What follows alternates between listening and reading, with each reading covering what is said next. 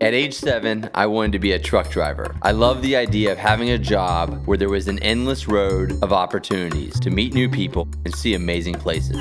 I actually wanted to be a truck driver for a really long time.